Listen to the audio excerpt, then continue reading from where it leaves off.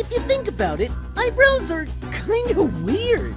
Two little strips of hair we have on our face. But why? What do our eyebrows do, and why do we have them? Let's find out on today's episode of Colossal Question. It might be easy to live your whole entire life without giving your eyebrows a second thought, but they're actually super important. For starters, they're a big part of our appearance. You might not always notice them, but eyebrows are one of the most distinct features on your whole face.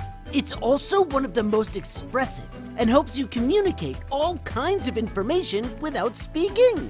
Different eyebrow positions communicate different emotions like happiness, surprise, or anger. But more than anything else, eyebrows help to protect your eyes. The shape of your brow itself, along with the hairy eyebrows, help force water away from your eyeballs so you can still see.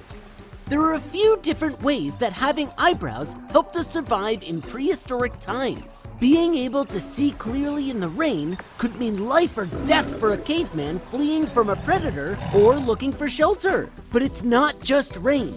Getting salty sweat in your eyes stings, and having your vision blurred from sweat while you try to outrun a saber-toothed tiger is bad news. So that's the main reason we have eyebrows, to keep our vision clear. But there is another thing our eyebrows do for us. They help us tell each other apart.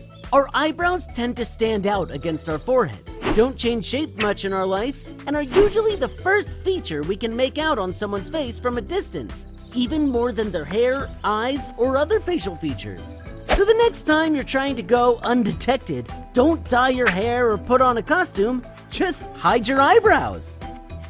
And now you know why we have eyebrows. Comment below if you have a question you'd like to know the answer to. And remember to subscribe for more episodes of Colossal Questions.